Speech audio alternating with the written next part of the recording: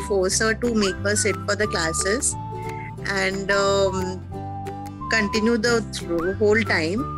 But then uh, afterwards she started uh, practicing the songs in, in on her own because she was getting appreciated when she used to sing.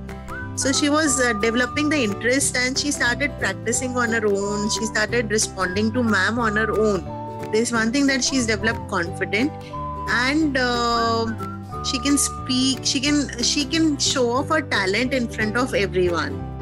So and she's really getting appreciated. So i'm very happy with it.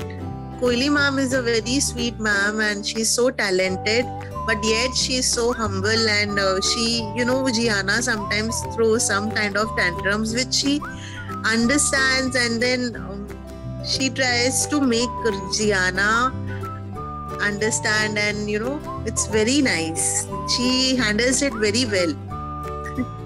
And she's being uh, so talented herself. I've seen her videos and all. But yet uh, she's very humble and uh, Jiyaana is very happy with her